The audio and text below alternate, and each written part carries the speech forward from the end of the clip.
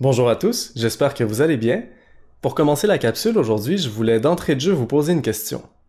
Selon vous, qu'est-ce qu'il y avait avant la civilisation? Autrement dit, comment se déroulaient les interactions humaines avant l'apparition de lois, de conventions, de valeurs, de coutumes, et surtout avant l'apparition d'institutions vouées à faire respecter ces conventions, ces lois et ces coutumes? On peut imaginer qu'à un stade pré-politique de l'humanité, donc avant l'apparition des lois, des cités, des villes et des gouvernements, l'humain était totalement libre. On pouvait faire ce qu'on voulait dans la nature, on pouvait faire ce qu'on veut n'importe quand et en toute impunité parce qu'il n'y avait pas de loi. L'individu doit se débrouiller seul dans la nature, il est la proie des bêtes sauvages, et même s'il peut faire tout ce qu'il veut quand il veut, en toute impunité, c'est vrai pour tout le monde aussi. Il n'y a rien qui garantit à l'individu que lorsqu'il dort, il ne se fera pas détrousser ou tuer par un autre humain qui veut lui dérober ce qu'il a. Donc on peut penser qu'avant l'avènement de la civilisation, le prix de la liberté totale, c'était une insécurité totale. On peut donc penser que les humains aient choisi un jour de se rassembler pour pallier à deux difficultés. D'abord, la menace constante dans la nature, et ensuite la menace constante des autres humains. En se rassemblant ensemble, on convient d'un pacte de non-agression mutuelle. Sortir de cet état pré-politique implique donc de renoncer à la liberté totale de la nature pour se garantir un peu de sécurité et un vivre ensemble. En philosophie, l'idée selon laquelle on renonce à une partie de notre liberté individuelle pour satisfaire aux exigences du vivre ensemble s'appelle le contrat social. Réfléchir sur le contrat social, c'est réfléchir en direction de la légitimité du pouvoir. Aujourd'hui, au Québec, le pouvoir, en gros, c'est le gouvernement. Qu'est-ce qu'on s'attend de lui? On s'attend à ce qu'il nous protège minimalement, à ce qu'il nous garantisse des droits et des libertés, et nous, en retour, les citoyens, on obéit à ses lois. Mais comment choisit-on le pouvoir? Quelle est l'étendue de sa souveraineté? Autrement dit, qu'est-ce qu'on lui laisse le droit de nous faire? Est-ce qu'on laisse le pouvoir nous surveiller? Est-ce qu'on le laisse nous contraindre physiquement par la violence? Autant de questions qui consistent à déterminer si un pouvoir est juste ou injuste, notamment, et qui orbitent autour du thème du contrat social. Je vous donne deux exemples. En bordure des routes, on s'est donné des panneaux sur lesquels il est indiqué la vitesse maximale des véhicules. C'est une illustration d'un contrat social parce que on veut s'assurer que un conducteur n'aille pas trop vite et on estime qu'il vaut mieux se restreindre dans notre soif de vitesse pour assurer un vivre ensemble. Un autre exemple. En Occident, depuis environ 30 ans, on assiste à un processus de militarisation des forces policières. C'est-à-dire que l'on confère de plus en plus de pouvoirs coercitifs aux États en prodiguant aux forces policières un arsenal digne de l'armée. Pour nous protéger contre nous-mêmes, donc, on donne le droit aux États de nous agresser physiquement. C'est une autre modalité de notre contrat social. Mais je laisse ces considérations de côté pour votre troisième ensemble de philosophie, éthique et politique. En attendant, il est impératif d'approfondir les philosophies de l'être humain sur lesquelles la pensée du contrat social s'appuie. Pour presque tous les philosophes que l'on va étudier jusqu'à la fin de la session, on ne pourra pas aborder leur anthropologie philosophique sans au moins parler un peu de leur philosophie politique. La raison est simple et c'est la suivante, c'est que jamais les considérations philosophiques sur l'être humain ne sont purement spéculatives et théoriques. À chaque fois, il s'agit d'aligner une pratique concrète sur une conception de l'être humain. Et c'est vrai de manière générale, pourquoi une réflexion sur l'être humain est-elle indispensable? Parce qu'on peut pas mener sa vie d'être humain de façon éclairée si on sait pas d'abord ce que c'est qu'être un être humain. ça vaut en politique aussi. On peut pas prétendre savoir gouverner les peuples constitués d'êtres humains si on sait pas ce que c'est qu'un être humain. Ou être un parent. On peut pas penser être un parent qui élève un enfant, donc un être humain, si on sait pas d'emblée c'est quoi un être humain. Mais tout de suite, on objecte, la plupart des politiciens, des parents, des éducateurs, n'ont pas réfléchi profondément sur la nature de l'être humain avant d'exercer leur fonction. Ça n'empêche pas qu'ils l'exercent parfois assez bien. C'est vrai, mais ça ne veut pas dire que leur activité se produise sans aucune préconception de l'identité de l'être humain. Au contraire, il s'agit, pour la plupart du temps, de conceptions non examinées, donc de préjugés, de préconceptions. En interrogeant les prochains philosophes à l'étude que vous voyez à l'écran, donc Thomas Hobbes et Jean-Jacques Rousseau, j'espère que vous serez en mesure de voir quel type de préconception sur l'être humain vous habite. Vous serez également en mesure de repérer dans votre entourage des petits Hobbes et des petits Rousseau. Et puisque nous sommes en route vers la dissertation comparative, on va aborder Hobbes et Rousseau dans un esprit de comparaison. Pour nous donner une ligne directrice, je vous propose ici une comparaison superficielle et provisoire de leurs conceptions respectives qu'il s'agira d'approfondir. Donc, je vous préviens, la comparaison que je vous affiche à la prochaine diapositive relève d'une carte postale, d'une caricature. Il ne faut surtout pas se laisser influencer par les apparences parce que Thomas Hobbes a l'air d'un méchant dans Harry Potter et que Jean-Jacques Rousseau a l'air d'incarner la douceur absolue. Voici la comparaison en question, dont je vous rappelle qu'il s'agit d'une caricature et qu'en réalité les pensées respectives de Hobbes et Rousseau sont beaucoup plus compliquées que ça. Seulement, je voulais vous exposer cette comparaison naïve avant d'approfondir la matière parce qu'elle est répandue. Une recherche rapide suffit à nous présenter des schémas simplistes dans lesquels Hobbes défend la thèse selon laquelle l'être humain est fondamentalement mauvais, tandis que Rousseau lui rétorque l'exact opposé, que l'être humain est fondamentalement bon. Mais la réalité n'est jamais si binaire et contrastée.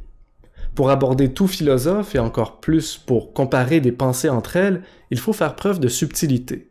Donc voilà déjà un premier élément pour la dissertation comparative. Si on veut bien comparer deux pensées entre elles, il faut trouver un dénominateur commun. Pourquoi justement les pensées de Hobbes et de Rousseau sont-elles si souvent comparées et mises en opposition?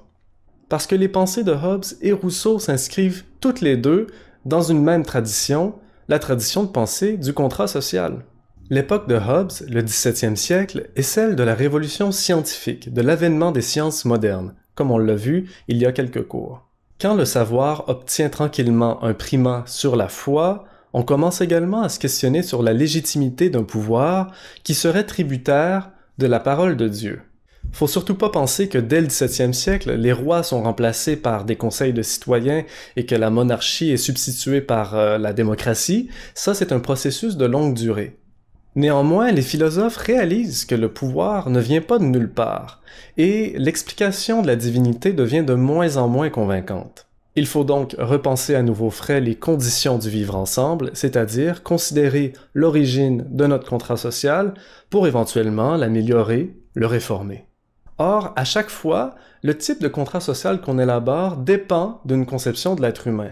Si vous étiez un législateur, vous n'envisageriez pas le même type de contrat social si vous pensiez, d'une part, que les êtres humains sont irrémédiablement et fondamentalement égoïstes et qu'ils doivent être protégés contre eux-mêmes, que si vous pensiez au contraire que si on améliore les conditions sociales et les conditions d'existence des individus, ils tendent à se pacifier d'eux-mêmes.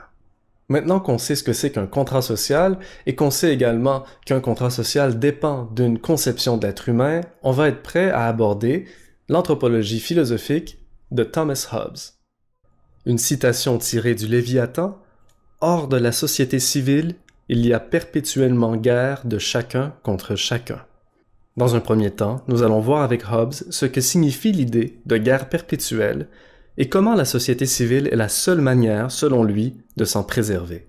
Pour Hobbes, un bon contrat social doit correspondre à la nature de l'homme. En déterminant ce qu'est l'être humain, on pourra établir les bonnes modalités du vivre ensemble. Voici notre programme en trois temps. On va d'abord recontextualiser la pensée et la personne de Thomas Hobbes dans son époque, pour ensuite élaborer son hypothèse de l'état de nature, et enfin considérer le contrat social de Hobbes qu'il appelle le Léviathan. Vous voyez à l'écran quelques points saillants de la vie de Thomas Hobbes, je vais simplement vous en rapporter quelques-uns. Alors c'est un homme du XVIIe siècle, c'est un homme de son temps. Il est fasciné par les mathématiques et plus précisément par la géométrie. Comme Descartes, Hobbes estime que les mathématiques constituent une science exemplaire dans laquelle toutes les autres doivent puiser leur méthode mais Hobbes oriente son intérêt dans une autre direction que celle explorée par Descartes. Il souhaite faire de la politique une science aussi exacte que ne l'est la géométrie. C'est un personnage très précoce, il intègre l'université quand il a 15 ans et il obtient son baccalauréat à 20 ans. La série d'événements la plus marquante de sa vie se produit à partir des années 40, lorsque les guerres civiles d'Angleterre éclatent. En raison de ces guerres, il fuit l'Angleterre et durant ses voyages, il rencontre Galilée, Mersenne, Gassendi, Bacon et Descartes, donc les grands savants de son époque. Hobbes a vu de quoi était capable l'humain lorsque les fondations de la civilisation sont ébranlées, précisément durant la guerre civile du royaume d'Angleterre. Soudainement, voilà une situation similaire à celle qu'a connue Montaigne durant les guerres de religion. De quoi s'aperçoit-on lorsque les institutions s'effondrent et que notre sécurité est compromise? Que les règles que nous nous donnons afin de nous assurer un vivre ensemble sont fragiles. Qui plus est, ces règles s'avèrent conventionnelles. Elles ne sont fonctionnelles que lorsque tout le monde les respecte, ou est forcé de les respecter. Hobbes prend bonne note de ce constat. Je vous invite à noter ce fait saillant de sa biographie, Hobbes est très près de la royauté. Comme tout grand philosophe, il s'attire plusieurs ennemis en raison de ses théories controversées. Mais les vingt dernières années de sa vie, il les passe sous la protection du roi Charles II. Vous verrez que si Hobbes s'exprime en faveur de la monarchie, c'est peut-être parce que ses intérêts sont en jeu. Thomas Hobbes meurt en décembre 1679, donc à 91 ans. Voici une gravure représentant la décapitation du roi Charles Ier. C'est un événement qui marque la vie de Hobbes parce qu'il illustre parfaitement l'ébranlement du contrat social. Couper la tête du pouvoir engage une réhabilitation du contrat social. Une fois la tête coupée, qu'est-ce qu'on fait? Est-ce qu'on célèbre l'avènement d'un nouveau roi? Si oui, est-ce qu'il conserve les mêmes pouvoirs que le roi précédent? Dont le règne s'est pourtant avéré précaire. Quand aujourd'hui on change de gouvernement, réécrivons-nous pour autant un nouveau contrat social. Non, il semble plutôt que si le gouvernement change de visage, les règles de son accès au pouvoir, de sa conservation du pouvoir et de ses prérogatives demeurent. Hobbes se demande quel type de contrat social il faut élaborer pour éviter que de nouvelles guerres civiles se produisent. Comment assurer la paix? Nous sommes désormais familiers avec le contexte dans lequel Hobbes évolue intellectuellement. Pour Hobbes, la condition humaine se détermine fondamentalement par le conflit. Le conflit est la règle, non l'exception. Or, le rôle du gouvernement, et par extension du contrat social, consiste à résoudre le conflit et permettre un état de paix permanent. C'est plus facile à dire qu'à faire. D'abord, qu'est-ce qui fait dire à Hobbes que l'état naturel de l'humanité correspond au conflit? C'est ce que nous allons voir en explorant sa pensée de l'état de nature, là où la nature de l'homme s'exprime librement. Qu'est-ce qu'on entend par état de nature? Les philosophes du contrat social, donc autant Hobbes que Rousseau et bien d'autres, réfléchissent les conditions du vivre ensemble en imaginant un état pré-politique de l'humanité. Leur pari est le suivant. En identifiant la nature de l'homme avant l'avènement des sociétés organisées, on va pouvoir déduire quels étaient les besoins qui firent appel au contrat social et enfin vérifier si notre contrat social actuel coïncide à ces besoins naturels. En un mot, quel est le meilleur contrat social possible, c'est-à-dire celui qui est le plus adapté à notre nature? La toute première étape de réflexion pour les penseurs du contrat social est de réfléchir sur l'état de nature. Ainsi, à quoi ressemble l'état de nature selon Hobbes? Pour lui, l'état de nature se décline à peu près ainsi. D'abord, la nature est impitoyable envers l'homme. Si on se compare aux autres animaux, on réalise qu'on est effectivement assez vulnérable. Pour la plupart des mammifères, ils apprennent à marcher dans les minutes qui suivent leur naissance, tandis que pour l'homme, ça prend plusieurs mois. Deuxième point, la seule chose qui compte dans l'état de nature, c'est la survie. Comme tous les vivants, prétend Hobbes, les humains cherchent avant tout à se conserver. Troisième point, dans la nature, nous dit Hobbes, tous les hommes sont égaux. Qu'est-ce qu'il veut dire par là? Que s'il y en a qui sont naturellement plus forts que d'autres, ben il y en a en retour qui sont plus rusés, plus intelligents, plus fourbes peut-être, plus sournois. Même l'individu le plus fort physiquement ne serait jamais assez puissant pour résister à l'assaut d'un groupe de personnes. Ou encore, quelqu'un qui est très fort physiquement peut vraisemblablement tomber dans le piège de quelqu'un qui est plus malin que lui. En bref, Hobbes nous dit que la nature distribue très bien les qualités. Suite au portrait de l'état de nature que nous venons de dresser, on peut élaborer le raisonnement suivant. Hobbes nous dit que tous les individus veulent assurer leur survie. Mais le désir des humains ne s'arrête pas là. Vous le savez bien que le désir des hommes ne s'arrête pas au terme de leurs besoins naturels. Donc on en veut toujours plus. Deuxième partie du raisonnement, or, tous les hommes sont relativement égaux. Ils entretiennent donc tous l'espoir d'obtenir ce qu'ils veulent. Et enfin, la conclusion tirée par Hobbes, tous les hommes entrent en compétition les uns contre les autres, il s'ensuit donc un état de guerre perpétuelle. Permettez-moi de lire ce passage du Léviathan où Hobbes nous dit Nous trouvons donc dans la nature humaine trois principales causes de discorde. Tout d'abord la compétition, en second lieu la défiance, en troisième lieu la gloire. Il entend par le terme de compétition cette idée que les hommes entrent en concurrence constante lorsqu'ils désirent la même chose. Autrement dit, qu'est-ce qui arrive dans l'état de nature quand deux individus, ou plus encore, souhaitent obtenir la même ressource le même fruit par exemple, eh bien, ils entrent dans un état de concurrence féroce. En plus de cet état de concurrence sauvage, Hobbes nous parle de la défiance. La défiance, c'est cette idée que je peux pas faire confiance à qui que ce soit, parce qu'on sait jamais si, lorsque j'ai le dos tourné, je me ferai pas poignarder, ou quand je dors, si je me ferai pas dévaliser. Pour ce qui est de la gloire, c'est assez simple. Hobbes constate une qualité humaine qui est assez observable, à savoir que les hommes aiment s'élever au-dessus des autres, veulent s'arroger un pouvoir et l'exercer sur autrui. J'aimerais attirer votre attention sur l'expression qu'emploie Hobbes ici. Il nous parle de nature humaine. Ça veut dire que l'état de nature tel qu'il vient de nous le présenter relève pas de détails ou relève pas de circonstances euh, plus ou moins particulières en ce qui a trait aux interactions entre les hommes. Il s'agit plutôt de traits fondamentaux. Lorsque les philosophes nous parlent de nature humaine, bien souvent ils veulent nous décrire quelque chose qui nous appartient en propre et qui nous appartient de façon innée et irrévocable. Pour Hobbes, donc, l'état de guerre perpétuelle est inscrit dans l'être humain.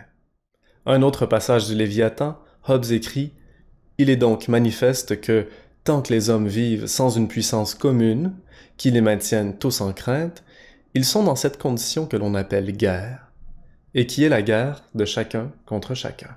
Pour Hobbes, la guerre, c'est pas quelque chose que l'on déclare entre deux nations, c'est un état perpétuel qui décrit l'interaction fondamentale entre les hommes. Comment illustrer l'état de guerre perpétuelle dont nous parle Hobbes? Une illustration de l'état de nature selon Hobbes le film The Purge, sorti il y a quelques années, dont la prémisse consiste à imaginer un moment dans l'année où tout crime est permis. Dans ce film, le gouvernement cherche à garder les citoyens dociles et organise euh, une période de 16 heures, il me semble, dans laquelle tout est permis, question de purger l'humanité de ses mauvais instincts et de reprendre ensuite la routine tranquillement. Mais on n'est pas obligé d'aller voir auprès de films d'horreur euh, de qualité discutable pour illustrer l'état de nature chez Hobbes. Je pense notamment à l'équivalent de la purge aux États-Unis, le Black Friday. Si en toute rigueur les lois ne sont pas abolies durant cette fin de semaine, on ne peut pas en dire autant des règles implicites du vivre ensemble, qui prennent le bord assez rapidement. Voilà somme toute l'état de nature pour Hobbes. La vie pré-politique nous réserve une vie de chaos, de violence et d'insécurité constante. Célèbre formule que vous avez peut-être déjà croisée, l'homme est un loup pour l'homme. Pour Hobbes, l'homme est fondamentalement, c'est-à-dire naturellement, égoïste et asocial. L'étape suivante consiste pour le philosophe à nous convaincre qu'il faut à tout prix sortir de l'état de nature. Voici ce qu'il nous dit. Tout ce qui est lié au temps de guerre, c'est-à-dire au temps pendant lequel chacun est ennemi de chacun, et par conséquent également lié au temps pendant lequel les hommes vivent sans autre sécurité que celle que peuvent leur fournir leurs propres forces et leur propre ingéniosité. Dans une telle condition, il n'y a point de place pour l'industrie parce que le fruit en est incertain.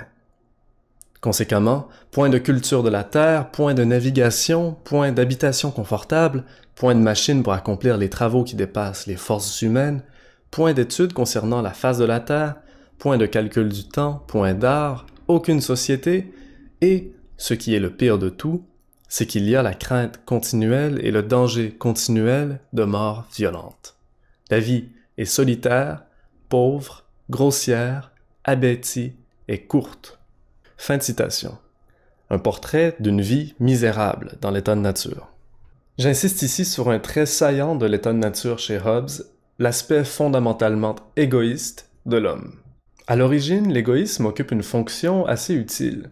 Si l'individu n'était pas au moins un peu égoïste, il chercherait pas nécessairement à se conserver à tout prix. Donc, pour la conservation de l'espèce, l'égoïsme est primordial. Mais Hobbes nous dit, une fois qu'on sort de l'état de nature, une fois qu'on est en société, aujourd'hui par exemple, l'égoïsme ne s'arrête pas pour autant d'opérer. Il faut le prendre au pied de la lettre quand Hobbes nous dit que l'homme est fondamentalement égoïste, c'est-à-dire que ça change pas, c'est inscrit en nous. En prenant au sérieux la thèse de l'égoïsme fondamental chez Hobbes, ça veut dire que toutes nos actions ne visent que notre propre satisfaction personnelle. Ça veut dire que la charité, pour Hobbes, ça n'existe pas. C'est une lubie qu'on s'invente, encore une fois, pour satisfaire notre besoin de se sentir supérieur, par exemple. Êtes-vous d'accord avec ça? Cette idée, essentiellement que derrière toute action vraisemblablement charitable, généreuse, s'exerce en réalité un égoïsme indéracinable, un amour-propre fondamental? Mobilisons quelques exemples. Je pense notamment au fait qu'on voit parfois sur les réseaux sociaux des gens se filmer en train de donner de la nourriture ou de l'argent à des sans-abri. Donc ils se filment, ils publient leur bonne action pour dire regardez comment euh, moi je suis euh, moralement irréprochable. Alors là, c'est facile quand on voit ce genre de truc-là de dire mais oui, mais là visiblement c'est l'amour propre qui est en jeu, c'est pas la générosité. Et puis dans ce cas-là, Hobbes a bien raison. Mais est-ce que c'est vrai que toutes les actions ressortissent d'un égoïsme. Mais Hobbes dirait que même quelqu'un qui aide une personne vulnérable en toute naïveté et sans se donner en spectacle, le fait pour des raisons sournoises, des raisons cachées, que même lui ignore, à savoir, il veut se sentir supérieur par rapport aux autres individus qui, eux, ne font pas de bonnes actions, par exemple. La thèse de Hobbes est assez agaçante. Est-ce que c'est vrai qu'on ne peut pas imaginer aucun geste, aucune action qui procède de la générosité, de la charité, sans aucune trace d'égoïsme. Pendant la crise qu'on traverse ces temps-ci, nous vient en tête l'exemple du personnel de la santé qui mobilise des efforts colossaux pour venir en aide à la population. Est-ce qu'on pourrait vraiment reprocher aux infirmières, aux ambulanciers, aux médecins, aux préposés que ce qu'ils font, ils le font par pur égoïsme? Hobbes nous dirait oui, toutes les personnes qui en ce moment œuvrent dans le système de la santé pour protéger la population le font par volonté de reconnaissance. Hobbes dirait que ce qui est en jeu derrière ces gestes apparemment dénués d'égoïsme, c'est la volonté d'être un héros, de se sentir supérieur. Je vous invite à réfléchir et à prendre position avec ou contre Hobbes. Êtes-vous d'accord avec lui? Il y a deux façons, ou au moins deux façons, d'essayer de mettre en défaut sa thèse de l'égoïsme fondamental chez l'homme. Vous pouvez, d'une part, trouver un contre-exemple, trouver, c'est-à-dire une situation, réelle ou fictive, dans laquelle on ne peut pas nier qu'un geste est commis en toute bonne volonté et en toute charité. Mais vous pouvez aussi essayer de mettre en défaut la thèse de Hobbes en vous inscrivant dans ses prémices, dans l'état de nature tel qu'il le dépeint, et montrer que l'état de nature qui nous montre ne tient pas la route. Autrement dit, vous pourriez lui montrer que l'état de nature ne présuppose pas absolument un égoïsme fondamental. Je vous laisse le soin de réfléchir là-dessus jusqu'à ce qu'on en reparle avec Rousseau un peu plus tard. Comme on l'a vu, c'est précisément l'égoïsme qui fait que les hommes sont dans un état de guerre perpétuelle. Le raisonnement est le suivant. Puisque tout le monde est égoïste et ne vise après tout que la satisfaction de ses propres intérêts, je ne peux faire confiance à personne. Donc, je suis en compétition contre tout le monde. Dans l'état de nature, notre voisin est toujours un potentiel rival. De même pour nos amis et notre famille qui peuvent nous trahir à tout instant. Hobbes nous dit Très bien, lecteur, si tu ne me crois pas, que tout le monde est en compétition constante et que chacun est éventuellement le rival de tout le monde, pourquoi d'abord, quand tu pars de chez toi, tu barres la porte? Autrement dit, Hobbes accuse une personne qui serait en désaccord avec sa thèse de la guerre perpétuelle d'hypocrisie. Dis-toi, lecteur, qui est pas d'accord avec moi, t'es hypocrite, tu dis, c'est pas vrai que tout le monde est en compétition constante, c'est pas vrai que je suis un rival potentiel de tout le monde, c'est pas vrai non plus que tout le monde est égoïste. Tu dis ça, mais pourtant tu barres ta porte quand tu sors de chez toi. Donc ce que tu dis et ce que tu fais ne coïncident pas. On pourrait prolonger l'argument de Hobbes et dire, bon lecteur, t'es pas d'accord avec moi que tout le monde représente une menace pour tout le monde, pourtant t'es bien content qu'il y ait des policiers dans ta ville. Pourquoi tu te donnes une force policière si tu penses pas après tout et au fond comme moi que l'homme est un loup pour l'homme. Si on voulait tourner les coins ronds, on dirait maintenant, bon ben, ce que Hobbes veut nous dire, c'est que l'homme est fondamentalement mauvais. Est-ce que c'est simple que ça? Il nous dit l'homme est fondamentalement égoïste, mais ce qui est mauvais pour autant? Qu'est-ce que ça veut dire être mauvais? Il faut savoir distinguer chez Hobbes la différence entre l'égoïsme psychologique et l'égoïsme moral. Ce qu'il nous décrit Hobbes dans son état de nature et dans sa détermination de la nature humaine, c'est un égoïsme psychologique, qui concerne donc les mécanismes de la nature humaine. On est fait comme ça. Si on n'était pas égoïste, on voudrait pas à tout prix se préserver, donc on se laisserait mourir. Pour lui, l'égoïsme, ça concerne pas une qualité ou un défaut d'un individu. C'est un trait fondamental de la nature humaine. Dans l'état de nature, ça n'a aucun sens d'accuser l'être humain d'être mauvais parce qu'il serait égoïste. Pourquoi? Notamment parce que, à l'état de nature, il n'y a pas encore de morale. Il n'y a pas encore de code moral qui permette de déterminer ce qui est bon ou mauvais. En toute rigueur, on ne peut pas sauter de l'idée que l'être humain est fondamentalement égoïste à la conclusion qu'il est donc fondamentalement mauvais, pour Hobbes. L'égoïsme psychologique ne fait pas de l'homme un être mauvais parce que c'est son droit naturel de vouloir chercher à se préserver. Un dernier mot sur l'état de nature avant de passer à la question du contrat social. Hobbes croyait-il vraiment que l'état de nature tel qu'il décrit a vraiment existé historiquement? Je lis le passage à l'écran. On peut peut-être penser qu'il n'y eut jamais de temps semblable, l'état de nature, ni de semblables conditions de guerre. Je crois en effet qu'il n'en fut jamais ainsi d'une façon générale dans le monde entier. Il s'agit en réalité d'une expérience de pensée. Je le précise parce que ce serait un peu facile d'accuser Hobbes et les autres penseurs du contrat social d'être naïfs. Les pensées du contrat social consistent à réfléchir les raisons pour lesquelles on est sorti de l'état de nature pour former des gouvernements, des communautés, des institutions et des lois. C'est ce qu'on va faire maintenant avec Hobbes. Comment on sort de l'état de nature chaotique qu'il nous a décrit? On détient la moitié de l'anthropologie philosophique de Hobbes. On sait que l'être humain est égoïste et asocial, mais comment il fait pour sortir de l'état de nature et qu'est-ce que le contrat social hobbesien va nous dire sur la nature humaine? L'état de nature traduit pour Hobbes une tension irréductible au cœur de l'humanité qu'il s'agit de résoudre. Cette tension, c'est la suivante, à savoir que l'humain est fondamentalement égoïste, ce qui le pousse vers la rivalité, le conflit et la guerre, mais en même temps, l'être humain a une volonté de sécurité. Il recherche donc la paix. Comment il va faire pour résoudre ces deux traits qui existent simultanément en lui? La tragédie humaine, c'est ça pour Hobbes, à savoir que d'un côté, on aimerait bien pouvoir exercer sans limite notre liberté totale dans la nature, mais d'un autre côté, et en même temps, on voudrait bien pouvoir être en sécurité aussi et ne pas toujours craindre pour notre vie. On va voir maintenant comment on formule pour Hobbes un contrat social pour sortir de la guerre perpétuelle. Le dispositif scénaristique de l'impasse mexicaine nous permet d'illustrer la sortie de l'état de nature. On se retrouve dans une situation où trois individus veulent la même chose. Lorsque le conflit culmine, les trois retirent leurs armes, le premier vise le deuxième, qui lui-même vise le troisième, qui vise le premier. Voilà l'impasse qui exprime l'égalité naturelle dont parlait Hobbes. Comment sortir de cette impasse? Il s'agit de signer un pacte de non-agression. Les individus posent leurs armes respectives et se partagent à part égale l'objet qu'ils convoitent en commun. Alors c'est réglé, on signe un pacte de non-agression et puis on sort de l'état de nature? Pas du tout. Comment s'assurer que quand on aura le dos tourné, on se fera pas fusiller sournoisement? C'est ici que le contrat social intervient réellement. La seule façon de se prémunir de la fourberie des autres, c'est de chacun renoncer à notre pouvoir individuel et à notre liberté et à la déléguer à un souverain qui, lui, n'a aucune loi à obéir. Autrement dit, il s'agit d'élire un tyran, ce que Hobbes appelle un léviathan. Si on avait tous dans l'impasse mexicaine un revolver, le léviathan, c'est celui qui a un bazooka et qui impose sa loi.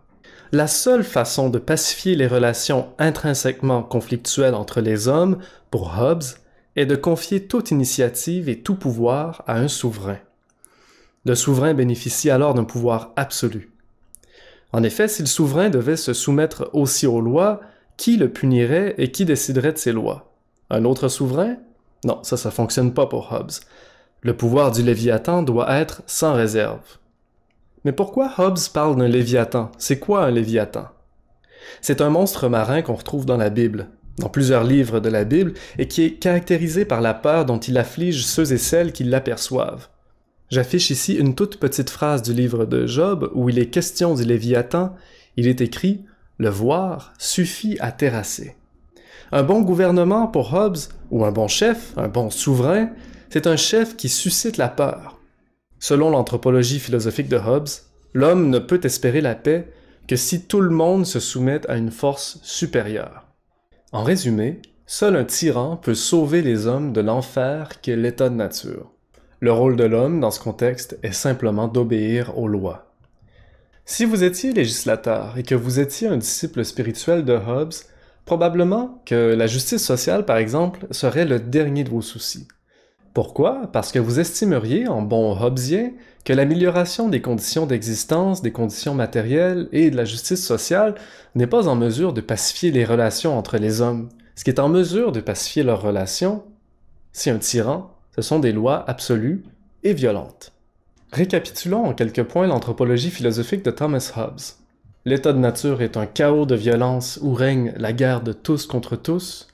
L'humain est fondamentalement égoïste L'être humain ne peut pas changer, il a besoin d'un souverain, un tyran, un léviathan, pour le pacifier et le protéger contre lui-même.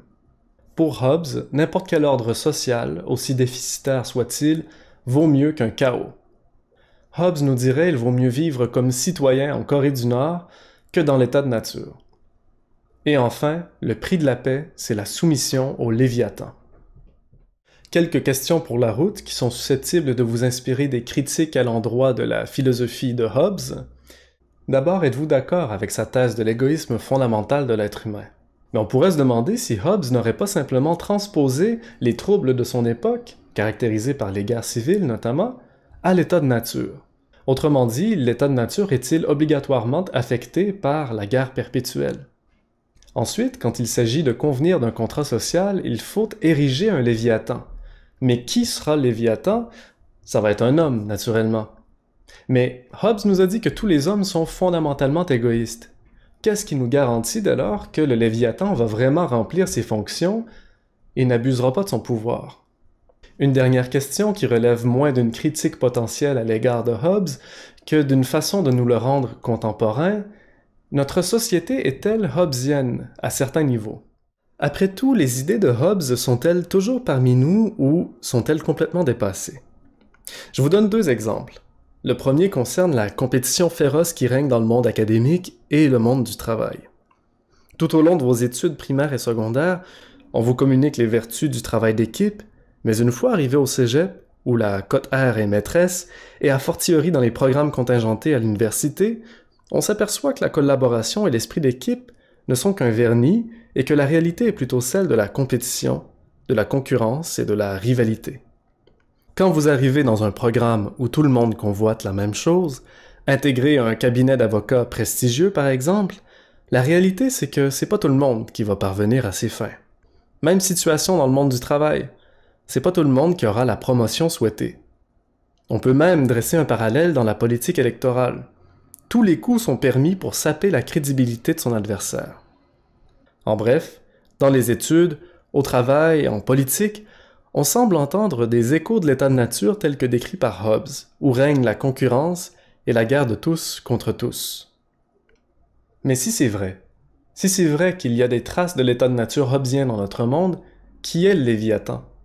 Qui est le souverain qui maintient cet état de concurrence et de rivalité constante, tout en nous gardant collectivement et individuellement dociles? On va voir plus tard avec Marx que le Léviathan n'a pas besoin d'être une personne pour exercer sa souveraineté. Merci de m'avoir accompagné. À bientôt.